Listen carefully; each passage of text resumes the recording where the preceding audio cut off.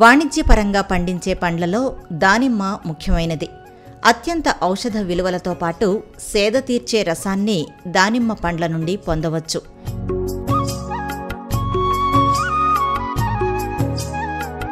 పండ్ల చర్మం రసం ఆకులు వేర్లు అనేక రకాలైన ఆయుర్వేద మందుల తయారీకి ఉపయోగిస్తారు.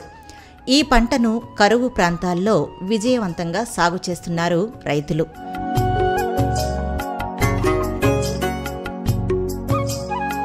మహారాష్ట్ర కర్ణాటక తెలంగాణ ఆంధ్రప్రదేశ్ గుజరాత్ రాజస్థాన్ రాష్ట్రాలలో వాణిజ్యపరంగా టన్నుల దిగుబడిని ఇస్తుంది.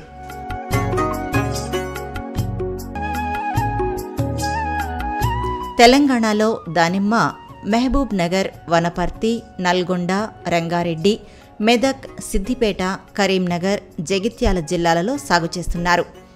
అయితే అధిక దిగుబడిని పొందాలంటే ఎరువుల యాజమాన్యం ఎంతో కీలకం.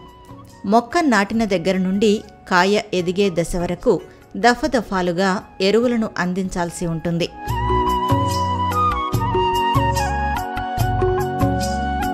ముఖ్యంగా వేపపిండితో పాటు బాగా చిలికిన పశువుల ఎరువు వేయాలి.